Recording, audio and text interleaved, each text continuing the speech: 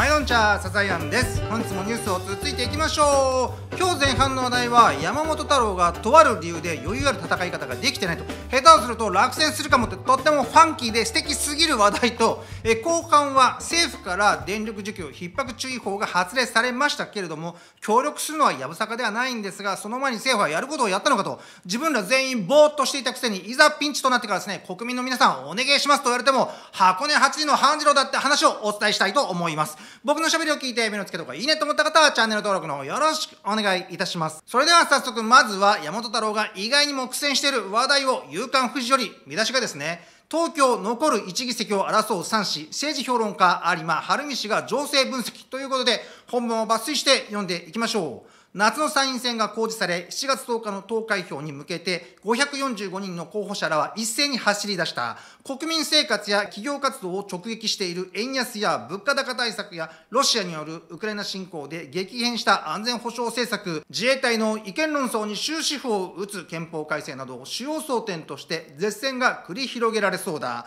私は乳がんの闘病経験をしました。自分の命をつないでいただきました。弱い立場の方々の力になりたい。元おにゃんこクラブで自民党新人の生稲晃子氏は22日午前、有楽町駅前で第一声を挙げた。おお、おにゃんこクラブですか。今のご時世、セーラー服を脱がさないで、なんてね、あんな曲を女子高生に歌わせようものであればですね、一発で人権団体からですね、未成年の性的作詞ソングはやめてくれと怒られちゃうんでしょうけれども、そんな生稲さんも御年54歳とということで、なんかそういう時代を生きてきた僕としてはですね、ちょっと甘酸っぱい感じもしますけれどもと、えー、自民党は知名度が高く無党派層に浸透しやすい生稲氏と、現職で元五輪ビーチバレー選手の朝日健太郎氏を擁立した東京選挙区は6年前、改選定数が5から6に増えた、主要政党から無所属候補まで乱立する全国一の激戦区だ。立憲からは2016年参院選でトップ当選した蓮舫氏ら2人が出馬。蓮舫氏は表参道交差点付近で第一声に臨み、岸田政権は防衛予算に敏感なのに値上げには鈍感だ。行財政改革を進め、税金がきちんと正しく使われるように取り組むと訴えた。そういえば、蓮舫さんは昔唱えていたダムから人へ、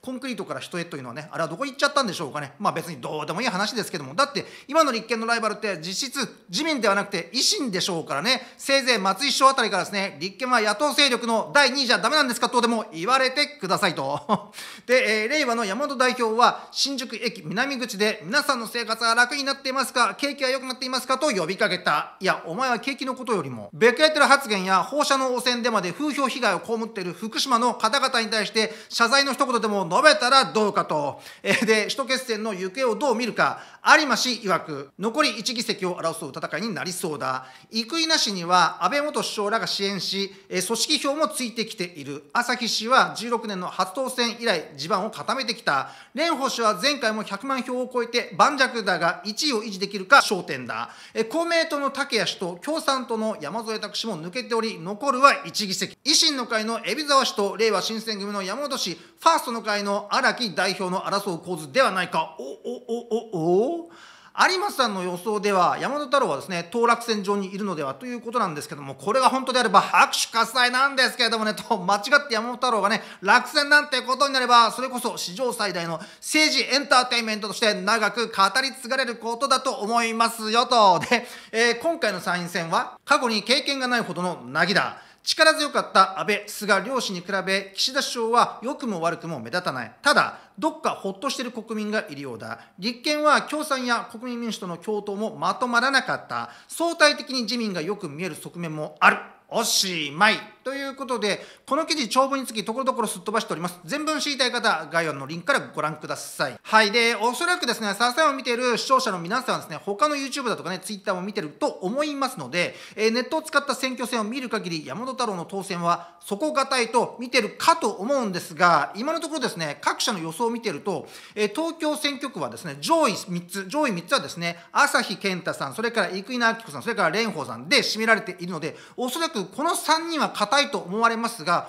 他は結構ね混沌としております。特に今回ですね注目ポイントの山本太郎氏はですね4位という予想もありますし6位の当落戦という予想もあります。なんでこんなにブレているのかというとですね主に理由は2つございましてまず1つ目がですね有馬さんも言っておりましたけれども今回の参院選はですね過去に例がないほど静かなんです。これはですね岸田さんのキャラクターによるところも多いんでしょうけれどももともとねあの人ってハト派の人物なので、えー、左派系の野党と争点が曖昧になってきているし原発再稼働なんかを見てもですね岸田さんは検討検討と言ってるんだけども動かすとか動かさないとかそういったね具体的なところは全部曖昧なままなんですよね。ですから実際のところ参院選が終わってみないとですね本当のエネルギー政策が見えてこないという摩訶不思議な選挙なんです。で新たに打ち出したのがこの前の節電ポイントでしょ。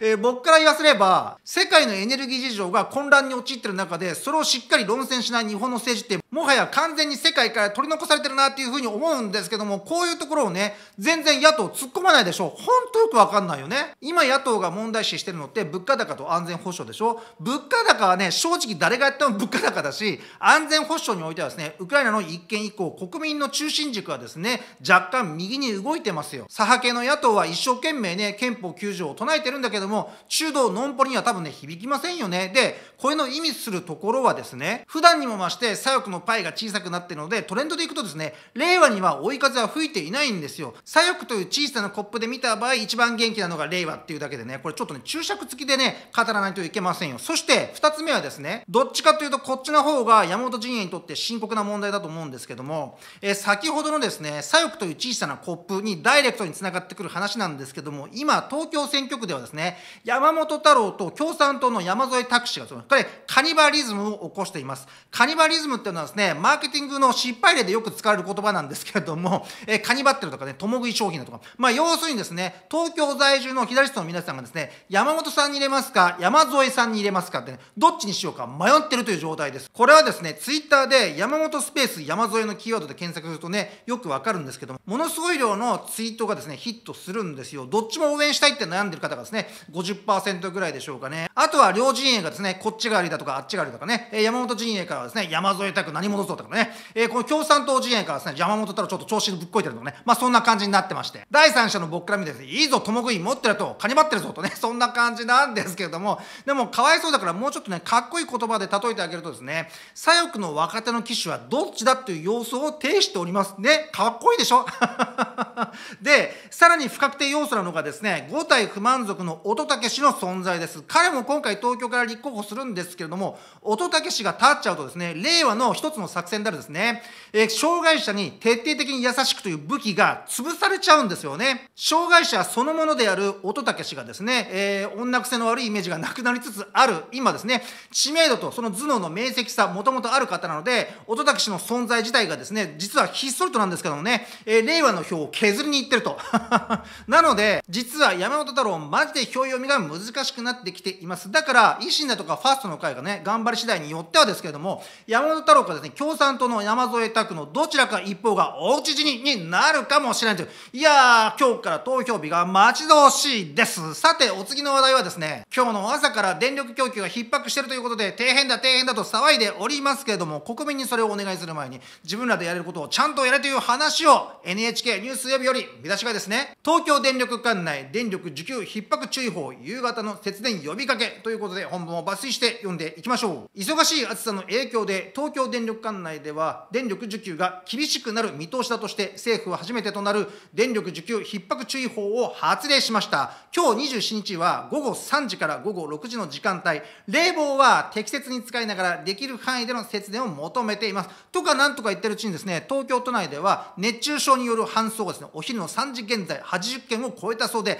何をやってんだって感じなんですけれどもと。で、えー、関東地方では厳しい暑さが予想され冷房の使用など電力需給が増えることが見込まれています。政府はこれによって東電の管内で電力供給の余力いわゆる予備率が5%を下回る見通しだとしています。具体的には午後4時から午後4時半にかけてが4.7%そして午後4時半から午後5時までが3.7%になるとしています。おまだお天道様が昇ってる時間帯じゃないですか。ならば太陽光がその電力不足を何とかしてくれるんじゃねえのか言ってね嫌味の一つでも言っとこうかなと。でこのため政府は東京電力の管内に初めて電力需給逼迫注意報を発令しました。政府は熱中症の危険性が高まっているとして冷房は適切に使用しながらも家庭や企業にできる範囲での節電を求めています。協力はねやぶさかではないんだけれどもまずは政府がやることをやってからね国民にお願いしてもらえませんでしょうかと。じゃないと国民も岸田さんの真似をしてね検討しになっちゃいますよ。節電の協力ですか？はいもちろん検討します。そして夏の終わり頃には一定の結論が出ると思います。それまで少々お待ちくださいってね。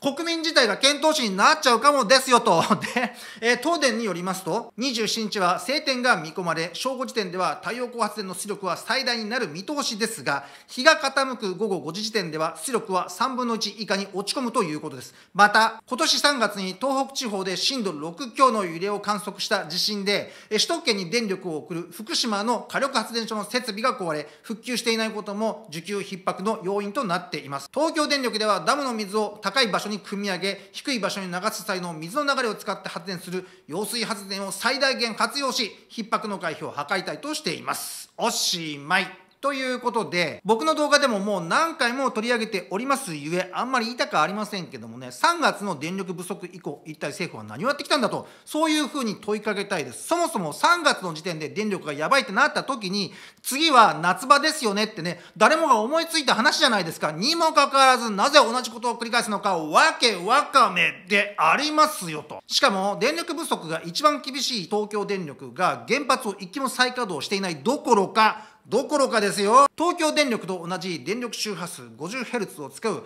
東北それから北海道エリアの原発が一機も再稼働していないという事実。あの、国民舐めてんでしょうかね。関西、九州、静岡よりも西のエリアはですね、60Hz の電力なので、大雑把な話、西日本で電力が余っても、関東にはね、電力を送ることがほとんどできないということなんです。だから電力不足に陥るんです、恒常的にね。ぼーっと生きてんじゃねえよってね、国会議員に言いたくもなりますよ。そもそも論として、西日本ばかり再稼働していてね、東日本が一気も再稼働してない理由って何なんでしょうかね。何の意味があるんでしょうかね。さっぱり分かりませんけれども、それよりももっとよく分からないのがですね、節電のご協力をって言ってる割にはですね、EV、電気自動車の充電を控えてくださいって言わないのはなぜなんでしょうかね。電気自動車なんてむちゃくちゃ電気を使うじゃない。いや別にね、僕は電気自動車 EV を乗るなと言ってるわけじゃないんですよ。深夜に充電するというのであればですね別にそれは構わないわけじゃないですか。今日の3時から6時の間電気自動車の充電をお控えくださいってなぜ言わないんでしょうかね。みんなが節電してる最中にすっとぼけたお金持ちだけがですよ都内の充電スタンドに行ってテスタにねゴイゴイと充電していたら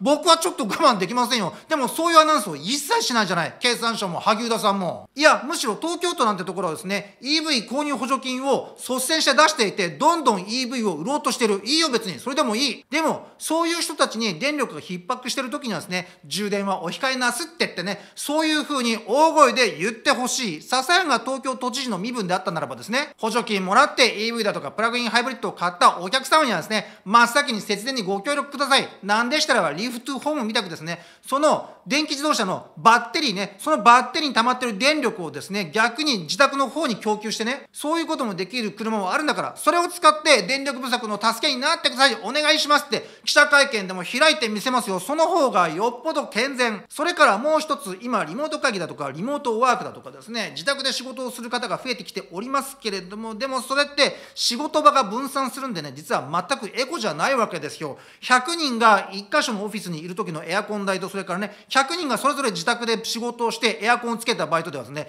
どっちが電気を食うのか食わないのか誰だって分かる話じゃないですか。でもこういう話を全然しようとしていない SDGs って言ってるやつほどね、こういう話に口をつぐむ。こんなんで節電にご協力をと言われてもですよ。嫌だねったら、嫌だね。嫌だねったら、嫌だねって氷川きよしが言ったとか言わないとか、いや、言ってないと思いますけれどもと、えー、真面目に電力事情を考えてんでしょうかねというふうに思いますし、この状況下だと冬はもっと悲惨になるかもって感じでね、いやー、ほんと困ったもんですよ。さて、最後に1個小ネタを。昨日、立憲の泉代表が秋葉原で演説を行った際にですね、この物価高にはもっともっと怒っていただきたい。まさに、立てよ国民。この悲しみ、この苦しみを怒りに変えて立てよ国民とやったそうなんですけれども、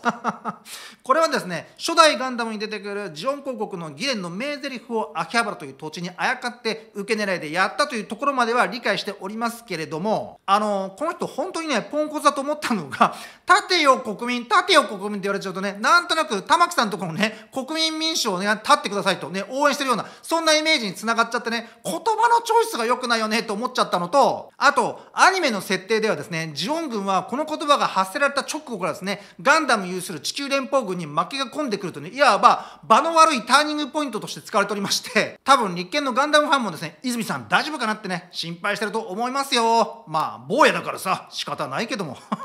ってな感じで今日も話が長くなりましたのでこれくらいにして最後はほっこりなだけで締めたいと思います。立憲民主党とかけまして一人ガンダムと解きます。その心はシャー連邦。どうせ秋葉原で演説するんであればマジで蓮舫さん呼べばよかったの私はシャアで通常の3倍のスピードで安倍政権をぶったたいてまいりましたとか言ってくれればね まだちょっと笑えてくることがあるんですけども。って感じで本日も面白かったらためだったとかですね。チャンネル登録いいねボタンの方よろしくお願いいたします。ありがとうございました。ささやんでした。